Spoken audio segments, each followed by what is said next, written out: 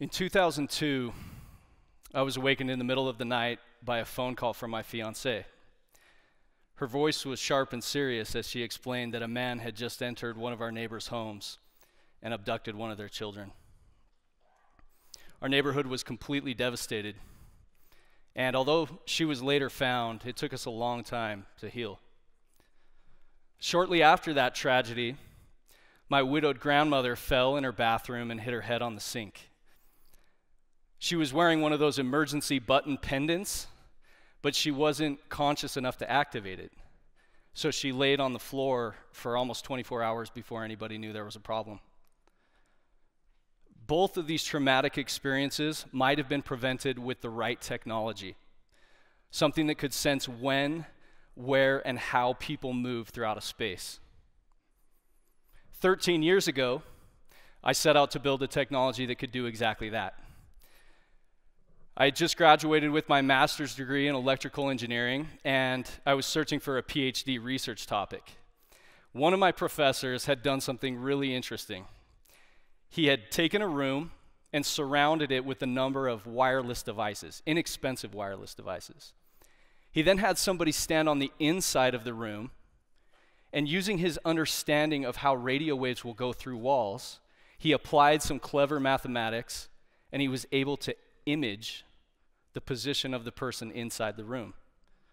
He was building a system that could see through walls to locate people. Now, the experiment was somewhat contrived, and the results were obviously very coarse. But this image of the person's position in the room immediately captivated my attention. Years of my life experiences, including the kidnapping, my grandmother's fall, they all made their way to the surface of my thoughts as I considered this for my PhD research. I knew that with the right development, if we could make this technology viable for everyday homes and businesses, the applications would be far reaching. We could build the best security systems ever created. We could build systems to monitor our elderly loved ones or disabled loved ones without invading their privacy. We could save vast amounts of energy for our planet by automating things like lighting and HVAC. So, being the young and overzealous engineer I was in my late 20s, I marched into this professor's office. He barely even knew me at the time. And I said, Hey, I want to work on this for my PhD. He politely declined, saying that there was no funding available for the project. Being the young and zealous engineer I was in my late 20s, I didn't give him a choice. I quit my job at a Department of Defense contractor. I brought my own computer. I found another professor to give me some space in his, in his lab, and I got to work. I'd show up at my professor's office on a weekly basis and give him updates on the progress I was making. After winning an international demo competition with our preliminary results, we acquired funding and I became his official PhD student. Since that time, I've dedicated my entire career full time to this development, to the development of this new technology that we call radio tomography. To understand what it is and how it works, let's go to Hollywood. In the movie Entrapment, Catherine Zeta Jones shows off some amazing security avoidance limbo skills while dancing through a dense web of laser beams. In the movie The Dark Knight, Batman uses a network of cell phone signals to see through walls to locate where the bad guys are. Both of these systems are fake, and yet somehow, if you put them together, they give you a pretty good idea of how radio tomography works. but let's take a look a little more scientifically.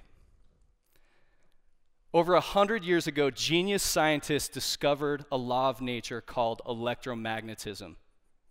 What they found was that if you wiggle a magnet near a wire, you can produce electricity in that wire, in that circuit. The opposite is also true that when you push electricity through a wire, you create a magnetic field near it.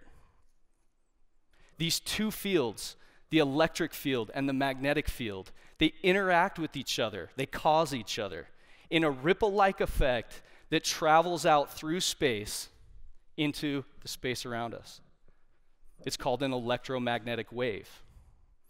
Now, most of us are already deeply familiar with electromagnetic waves, at least a certain kind. We call it light. Light is the energy of electric and magnetic fields rippling into our eyes. And when it does so, it excites the neurons in our brains, and we see color. Now, just like a light bulb produces light, antennas are the devices that we use to produce a different kind, a different frequency of electromagnetic wave. It's called a radio wave. Our eyes can't see these radio waves for similar reasons that our ears can't hear a dog whistle. The frequencies are just out of range of what our human bodies can perceive. But radio waves will go through walls and obstructions. This is why your cell phone still works when you're inside.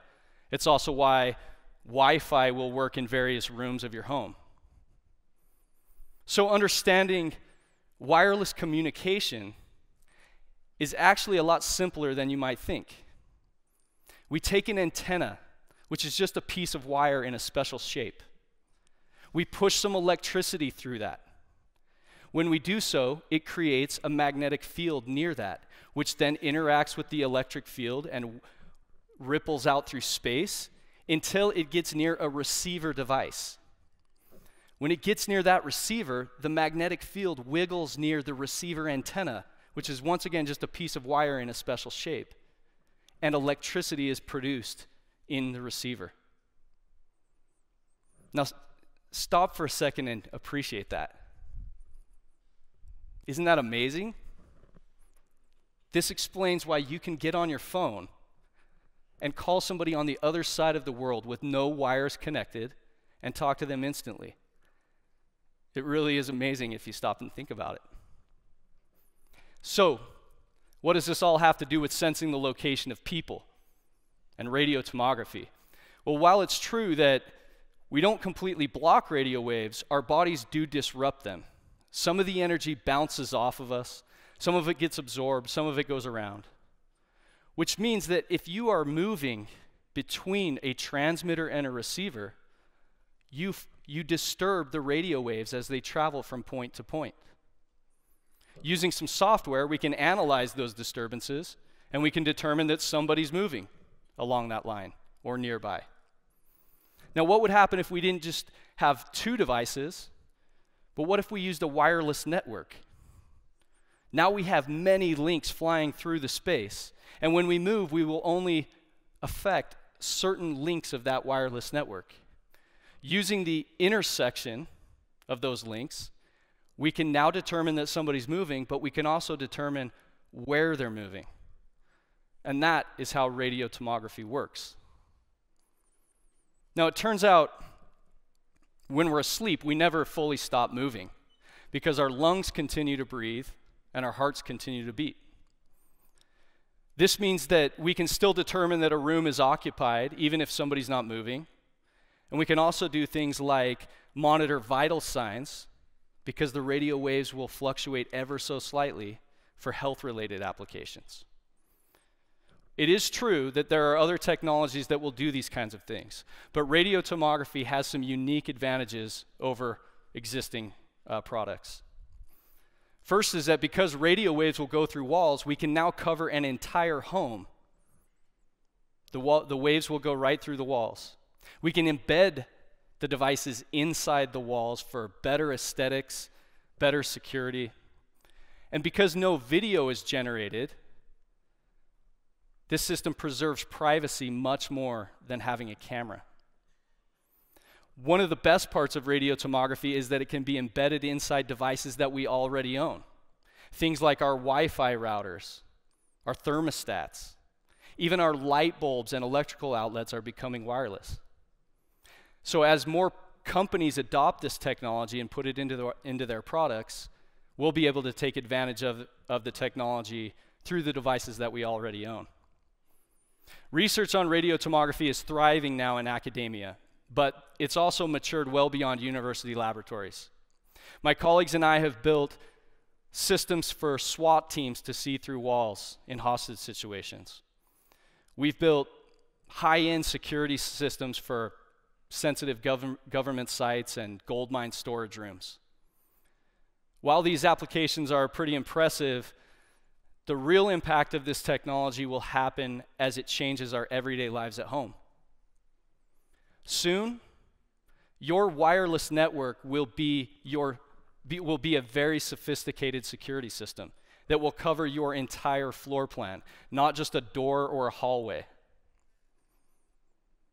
And no more ugly motion detectors or clunky security systems will be needed. If you have an aging parent who lives alone, the wireless network of the home can monitor the patterns of movement and then alert somebody if something looks like it's not right.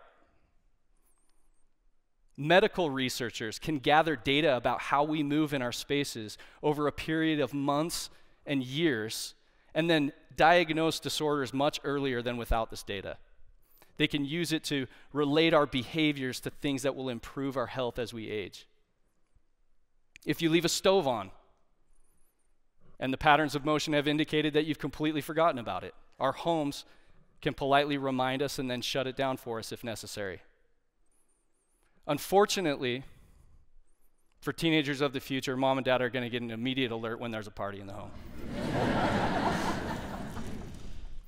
Not only will our homes be enhanced by this technology, but also our commercial spaces. By taking advantage of modules inside the electrical outlets of a large building, we can determine occupancy without having a dedicated sensor in the room. This allows corporations to meet energy efficiency codes, saving vast amounts of, of energy for our planet by shutting down lighting and HVAC. In a, in a natural disaster or a fire, our first responders can know exactly where people are located throughout that building so that they can focus their attention on places that will really save lives. Sadly, my grandmother's fall was not the last time that an aging parent who lived alone needed immediate help. My neighbor's kidnapping was not the last time an aggressor broke into a home. The world still faces people like that. And yet, I'm still an optimist. I still look forward to the future. More accurately, I'm a solutionist. The application of knowledge to create technology replaces our trauma and our fears with hope and excitement. For thousands of years, human curiosity has led us to observe the laws of nature, model those laws, and then build tools. Every time a key discovery is made in science, engineers take those discoveries and build products that really do help us thrive mentally and physically. My colleagues and I are standing on the shoulders of giants. Over a hundred years ago, genius scientists discovered and modeled the laws of electromagnetism. Later, brilliant scientists figured out how to take the atoms and molecules in sand and create inexpensive wireless devices. And now my team and I are using those devices to detect when, where, and how people move throughout a space. And as we do so, we genuinely hope that we can help people suffer and fear less. Marie Curie was the first woman to have ever won a Nobel Prize. She once said this Nothing in life is to be feared, it's only to be understood. Now is the time for us to understand more so that we may fear less. And I couldn't agree more. Thank you.